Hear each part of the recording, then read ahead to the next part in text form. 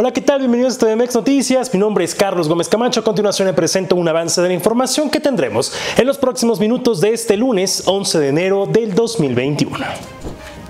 Arranca Tlanepantla el programa Prueba Rápida COVID-19. Gobierno de Catepec anuncia programa de tanques de oxígeno gratuitos para pacientes con COVID-19. Aprueba el Cabildo de Cuautitlán Izcalli descuentos en pago de predial. Abierto el registro para ser observadores electorales y visitantes extranjeros en el Estado de México para el próximo proceso electoral. Este martes inician labores mil brigadas de vacunación, asegura el presidente Andrés Manuel López Obrador. Iniciamos TVMX Noticias.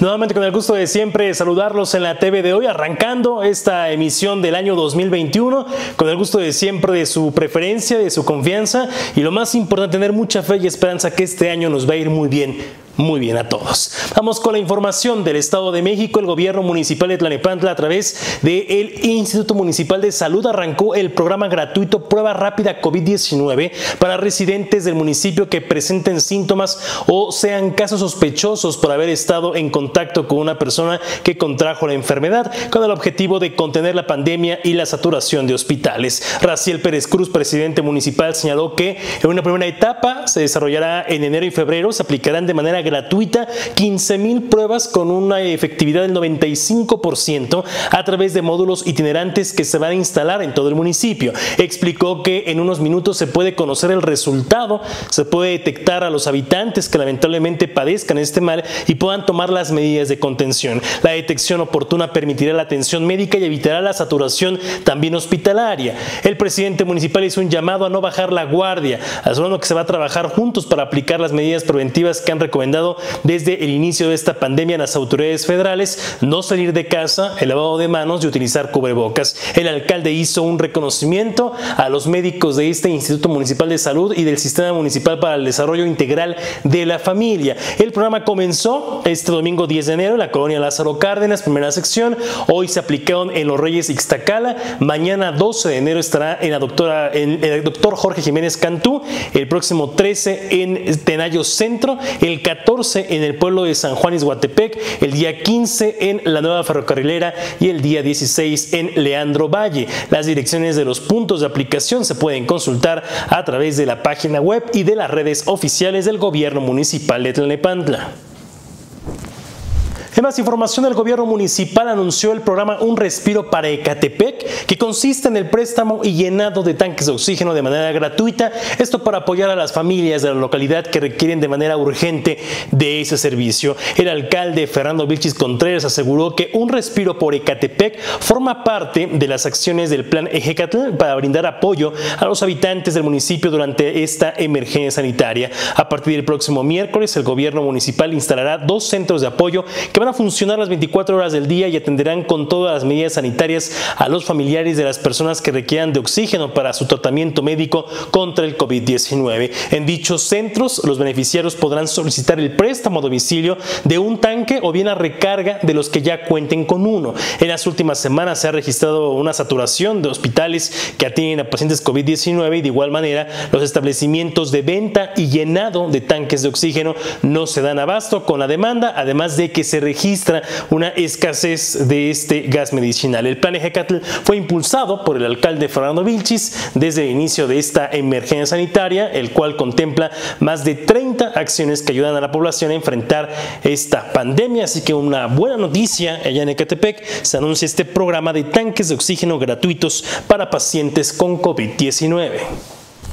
Y el Cabildo del municipio de Cuautitlán Izcalli, encabezado por Ricardo Núñez Ayala, aprobó estímulos fiscales para la ciudadanía al realizar su pago de impuesto predial, esto con el objetivo de apoyar su economía por contribuyente cumplido y pronto pago. Durante la 39 sesión de Cabildo con carácter de extraordinaria, se aprobó el acuerdo por el que se otorga para el ejercicio fiscal 2021 a favor de los contribuyentes cumplidos una bonificación en impuesto predial del 8% en el mes de enero, 6% en el mes de febrero y 2% en el mes de marzo mientras que la bonificación en el pago oportuno del impuesto predial, el pronto pago, será del 8% en enero, 6% para febrero y 4% en marzo. En el mismo sentido, la bonificación a favor de los pensionados, jubilados, huérfanos menores de 18 años de edad, personas con discapacidad, adultos mayores, viudas o viudos, madres solteras sin ingresos fijos y aquellas personas cuya percepción diaria no rebase tres salarios mínimos generales será del 34% en el pago del impuesto predial. Cabe destacar que esta fue la primera sesión de Cabildo del año 2021 con la que el presidente municipal Ricardo Núñez Ayala expresó también sus condolencias por el sensible fallecimiento de Gerardo San Pedro Solís, quien fungía como director de servicios jurídicos del ayuntamiento e invitó a toda la ciudadanía a no bajar la guardia contra el COVID-19, ya que aún nos encontramos en semáforo epidemiológico color rojo.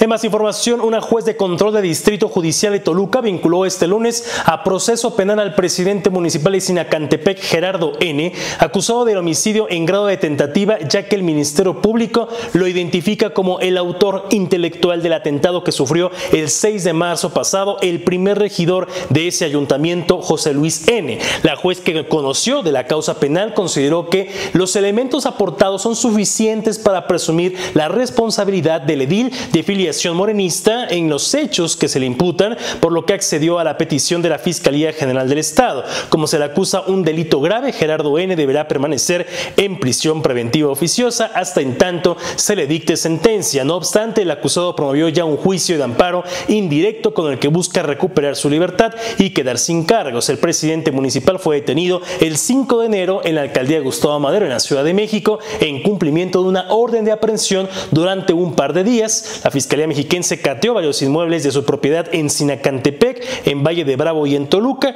pero al saberse que era perseguido se refugió en casa de un conocido. Fueron fijados dos meses al Ministerio Público para realizar la investigación complementaria de este caso, tiempo en el cual la defensa del edil deberá reunir elementos para desvirtuar la acusación formulada por la Fiscalía del Estado.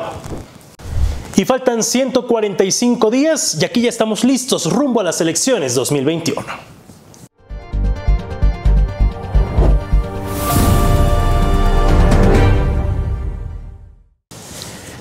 El INE como el IEM, bueno, quiero decirle que ya tienen abiertas las convocatorias para quienes deseen participar como observador electoral el próximo 6 de junio, tanto en el proceso local como en el federal. El INE tiene ya abierta su convocatoria desde el pasado 7 de septiembre, ya tiene 94 solicitudes de registro y están en vías de entregar las primeras acreditaciones. El mayor cúmulo de peticiones lo esperan para el mes de abril. El proceso anterior acreditó a 700 observadores para la entidad. En esta ocasión todavía queda tiempo para acudir también se precisó, se precisó que las acciones se podrán seguir en línea, como el caso del proceso de selección de personal, las sesiones de los consejos, ya solo la jornada, así como el cómputo distrital será de manera presencial. En el caso del IEM, lanzó ya la convocatoria la semana pasada y todavía no llegan solicitudes para quienes estén interesados en cualquier etapa de este proceso, desde el registro de candidatos, las campañas, bueno, hasta llegar a la jornada electoral y la etapa impugnativa. También está vigente la convocatoria del INE para que vengan visitantes extranjeros a México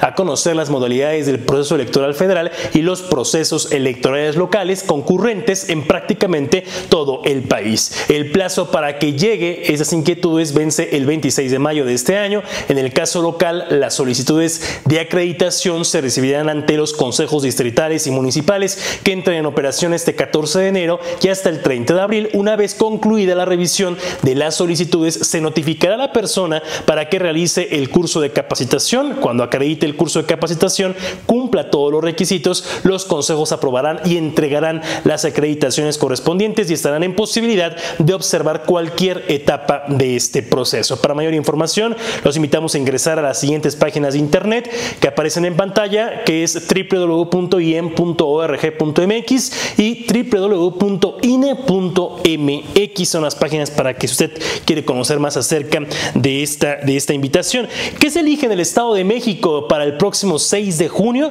45 diputaciones de mayoría relativa, 30 diputaciones de representación proporcional, 125 presidencias municipales y alcaldías, 198 sindicaturas y 1.856 regidorías, lo que está en juego para el próximo 6 de junio a 100, 145 días y aquí, aquí estamos listos.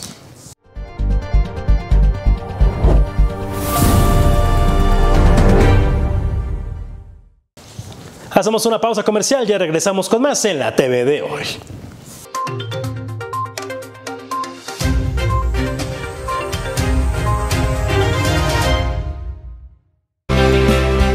La salud de su familia y la de usted son primero.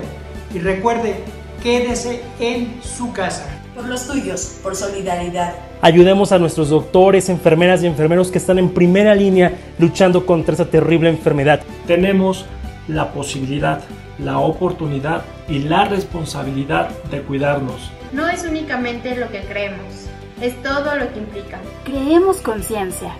Por ti, por los tuyos, por todos. Quédate en casa. Recuerda que puedes cambiar la palabra riesgo por la palabra encierro por la palabra oportunidad. Oportunidad de estar con los tuyos, de disfrutar de tus espacios, de ser creativo, pero sobre todo de ser consciente. Quédese en su casa. Quédate en casa. Quédate en casa. Quédate en casa. Quédate en casa. Quédate en casa. Quédate en casa.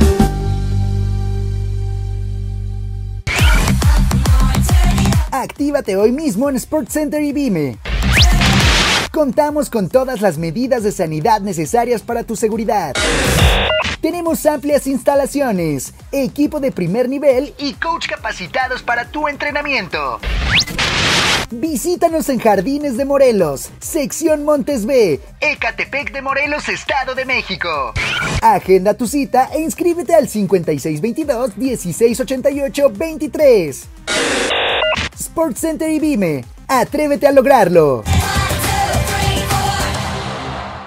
Porque tu educación es la herramienta más importante para el futuro, Escupeco y Quif es la mejor opción para lograr tus metas. Contamos con educación activa y personalizada, laboratorios de cómputo totalmente equipados, viajes al extranjero, talleres artísticos, deportivos y culturales, certificación del idioma inglés con Cambridge y próximamente idioma francés, experiencia de más de 55 años en educación en nivel secundaria, preparatoria, universidad y maestrías, aprovecha nuestros nuevos costos. Inscríbete y vive la experiencia que nuestra escuela tiene para ti. Escupeco y Quif somos fundadores del grupo educativo Palma. Educando a jóvenes, creando profesionales. Los avances de la televisión digital crecen día a día. En TVMex tenemos un espacio para ti. Los mejores contenidos, información y entretenimiento. Anúnciate con nosotros. Ahora mismo tenemos una promoción para ti. TVMex, la TV de hoy.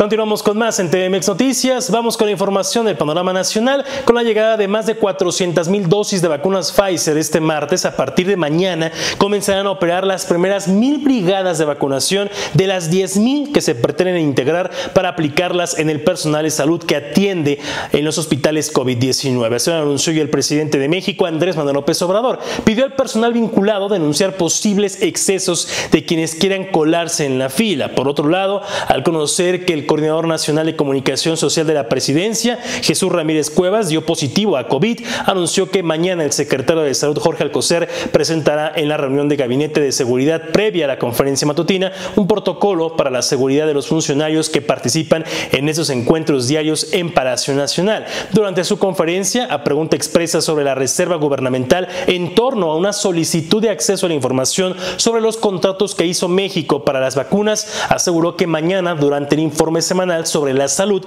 se darán a conocer esos contratos reiterando que se han entregado ya adelantos por 7 mil millones de pesos.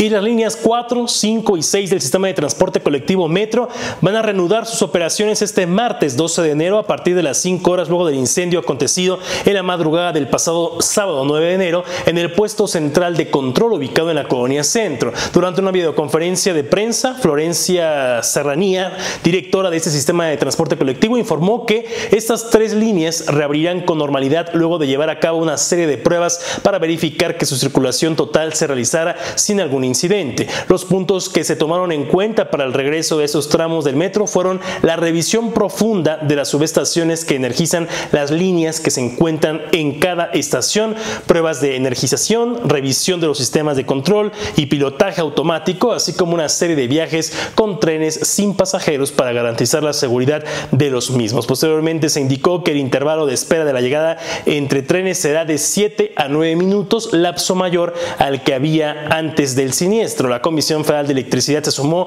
a los trabajos conjuntos con la Secretaría de Movilidad de la Ciudad de México y el sistema de transporte colectivo Metro para normalizar por completo las seis líneas del metro afectadas. Por su parte, Andrés Layous Loaesa, director de CEMOVI, dijo que regularmente habrá conferencias de prensa para actualizar los datos respecto al servicio emergente que se implementó para ayudar a los usuarios y sobre la reconexión del sistema de transporte colectivo. Un caos por completo esta mañana cuando muchos que sí estén eh, con actividades habituales llegaron y, sin tener finalmente el transporte eh, del metro, que es importantísimo diario, más de 4 millones de personas se trasladan por ese transporte, pues hoy no había, se hizo un importante programa emergente, pero no fue suficiente, fue suficiente para poder cumplir con las necesidades de los habitantes de la Ciudad de México. Estamos llegando al final de este espacio de noticias. La invitación para que comente, comparta reacción en mis cuentas personales, arroba Carlos Gómez TV, vía Twitter, Instagram, Facebook, soy Carlos Gómez Camacho. La página de internet mex.tv, si me lo permite, solo tomarme unos minutos para, eh, pues durante esos días de vacaciones que estuvimos eh, descansando, lamentablemente las malas noticias llegaron y quiero expresar nuestro más sentido pésame a algunos familiares y amigos de quienes perdieron la vida. El caso, en primera instancia, de nuestra compañera Carla Erika López, que, quien estuvo y me acompañó en muchos momentos aquí en este espacio de noticias, pues hablando de los diversos temas de la política, una mujer extraordinariamente hablando, era un deleite tener y platicar con ella, lamentablemente eh, pues perdió la vida hace unos días, a su familia expresarle mis condolencias y pues por supuesto ahí el recuerdo de, de ella siempre y mi agradecimiento profundo que siempre tuvo con esta casa de trabajo cuando se hace una invitación. Su última participación fue justo el día de la jornada electoral en los Estados Unidos. En radio tuve la oportunidad de platicar con ella y lamentablemente eh, tuvimos la noticia el primer fin de semana, saliendo de vacaciones, de su fallecimiento. Toda su familia le mando un fuerte, fuerte abrazo y mi recuerdo eterno y agradecimiento por siempre para ella. También un abrazo a la familia de mi amigo Miguel Gersain Martínez Campos, un joven eh, impresionante, talentoso y todo mi amigo, a quien quiero muchísimo y que siempre lo recordaré. Un fuerte abrazo a él, encantado también haciendo medios, a su familia también expresar mi solidaridad y mi pésame. Y por último, a la familia de Sergio Heriberto Domínguez Toribio, exregidor y expresidente del PRI en Coacalco, don Sergio Heriberto Domínguez Toribio, un hombre también extraordinario en toda la expresión de la palabra, un hombre que supo, supo hacer de la política su quehacer diario, pero con una calidad humana. A toda su familia le mando un fuerte, fuerte abrazo. Eh, a todos también quienes atraviesan por un momento muy difícil. Creo que iniciamos el año con muy malas noticias, pero esperando que poco a poco las cosas vayan mejorando. La fe y la esperanza es lo último que se puede, que se puede perder. Muchísimas gracias, la invitación para que nos siga y el día de mañana con más información a TV de hoy.